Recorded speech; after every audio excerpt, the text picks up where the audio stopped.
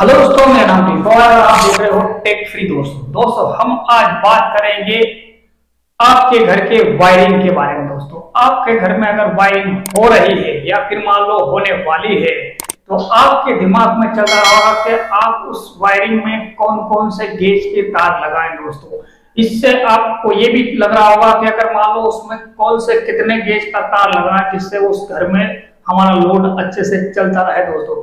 तो दोस्तों, इसके लिए तो आपका जो इलेक्ट्रिशियन है, वो भी आपको गाइड करेगा कि उसमें कितना गेज का, कितनी जगह पे और कहाँ कितना गेज का तार लगेगा दोस्तों। मगर हम आज आपको उसी पे बात करके बताएँगे कि आपके घर की, अगर मान लो आपका कॉस्ट कम है तो आप कम से कम कॉस्ट में भी अगर मान लो आपके घर की वायरिंग अगर कितने गेज में करते हो तो उससे आपको मतलब कि नुकसान है या फ़ायदा है। दूसरी बात, हम दो कंपनियों का नाम भी लेंगे अगर मान लो आप ये कंपनी और ये कंपनी में कितना डिफरेंस है दोस्तों, वो भी हम आपको बताएँगे। वीडियो के अंत तक बने रहे दोस्तों, वीडियो को लाइक करें दोस्तों और चैनल को नए हैं तो सब्सक्राइब करें दोस्तों। तो दोस्तों, हम आप आप बताएँगे आपको कि सबसे पहले तो हम बताएँगे आपको कि ये अगर कंपनी का जो वायर है दोस्तों, ये देख सकते हो। ये 2.5 mm है। और इसका जो प्राइस तो जैसा अभी आज का जो प्राइस है, वो पता नहीं है कि क्या चल रहा है मतलब ये जो है ढाई एम को बोलते हैं इसको। तो ढाई एम का जो वायर है दोस्तों तो ये आप मेन वायर चला सकते हो।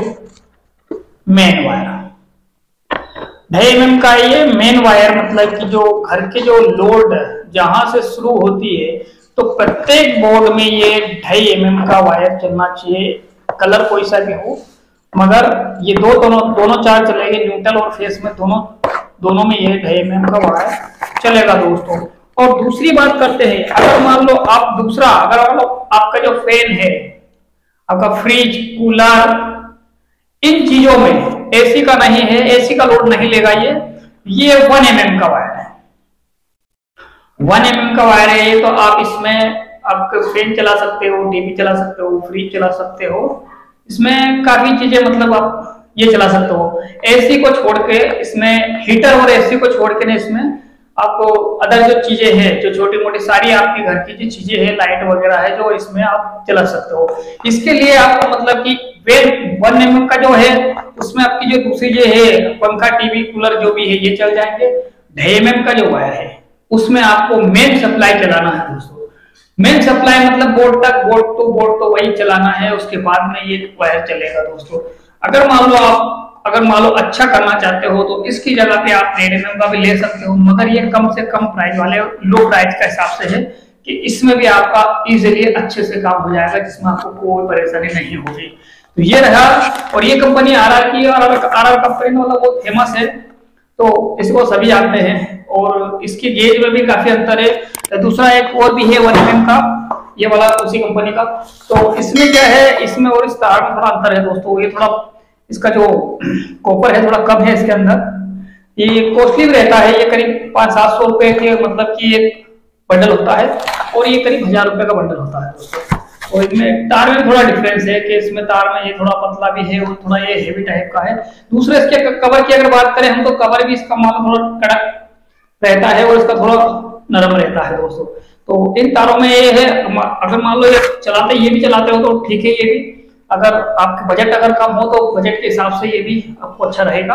बट अगर मान लो आपका बजट अच्छा है तो फिर ये तार चलाने में फ़ायदा रहेगा क्योंकि थोड़ा हैवी और इसका जो कवर आता है, सबसे मेन पॉइंट तो है कि अभी ठंड का मौसम है और ठंड के मौसम में इतना कड़क नहीं हो रहा है मतलब नरम है तो इसका मतलब यही है कि ये मतलब कि थोड़ा अच्छा है। अगर ठंड में अगर कोई चीज़ नरम रहती है तो समझ लीजिए आपकी ये अच्छा रिस्पॉन्स देगी मतलब ठंड में अगर कड़क नहीं होती है तो, तो दूसरी बात है अगर मान लो आपके पास पैसे अच्छे है मान लो आप थोड़ा खर्चा करना चाहते हो तो फिर यही लगाइए। अदर कंपनी भी है वो मैंने आपको बताया है काम दोनों सेम करेगी, आपको कोई दिक्कत नहीं आएगी, कोई फाल्ट नहीं होगा और ना ही कोई मतलब इस तार में जलने का कोई ऐसा सिस्टम रहेगा कि इसे तार जल जाएँगे, कि कुछ हो जाएगा, ऐसा कुछ भी नहीं रहेगा। तो दोस्तों, इसमें क्या है? अगर मान लो आप ये कम वाला भी अगर चलाते हो, परेशानी कुछ भी नहीं है। इसका जो आखिरी का जो रीजन है, कितने साल चलेगा तो दोस्तों, अभी इसके बारे में हमें कुछ कह नहीं सकते कि ये कितने साल सर्विस दे सकता है, ये कितने साल सर्विस दे सकता है। और वो कितने साल सर्विस दे सकता। क्योंकि इनके सर्विस की अगर अपन मान के चलो तो सर्विस का ऐसा कुछ नहीं क्योंकि अभी एक बार वायर डाल दिया है, किसी ने अभी दस साल भी हो गए हैं, बारह साल भी हो गए कभी इसमें कुछ हुआ नहीं है तो इसके कारण अभी आप बता नहीं सकते कि इसका सर्विस कितना आएगा। अभी अभी आया है तो इसके तो जब मेन रीजन जब आखिरी में पता चलेगा, मान लो दस, पंद्रह साल, कितने साल की सर्विस देता है ये। बाकी बट अभी के हिसाब से ये बहुत अच्छा है, थोड़ा कॉस्टली है, मगर अच्छा है। तो दोस्तों, आपने देखा होगा कि ये जो वायर में है आपको ढाई एम mm का मेन वायर और वन एम mm का आप सारी चीज़ों में यूज़ कर सकते हो एसी को छोड़ के ना। तो आप समझ चुके होंगे कि आपको कौन सा वायर अगर मान लो आपके पास पैसे हो तो आप वन एम mm की जगह पे आप डेढ़ एम का ले सकते हो। अगर मान लो उसमें, अगर मान लो आप इन्वर्टर का भी कनेक्शन ले लो तो इन्वर्टर का कनेक्शन भी आपका वन एम में चल जाएगा। वन एम आपका कोई दिक्कत नहीं आएगा। और अगर उसके बाद अगर तुम डेढ़ एम का लेते हो तो डेढ़ एम भी ठीक रहेगा बाकी क्या है कि इलेक्ट्रिशियन ज़्यादातर आपको इलेक्ट्रिक वो इन्वर्टर के लिए वो डेढ़ एम ही रिक्वायरमेंट करेगा दोस्तों, ऐसा कुछ नहीं है। वन एम भी आपको वही काम करेगा, उसमें कोई परेशानी नहीं आएगी, अगर मान लो ऐसा होता है तो। थोड़ा कुछ से रहेगा वो मतलब कि ये हज़ार रुपए में अगर पड़ता है तो वो समझ लो पंद्रह सौ रुपए में पड़ेगा।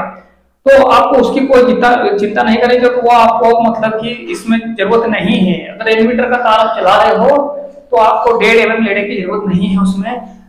इलेक्ट्रिशियन क्या करता है कि इलेक्ट्रिशियन तो खाली आपको बोल देता है।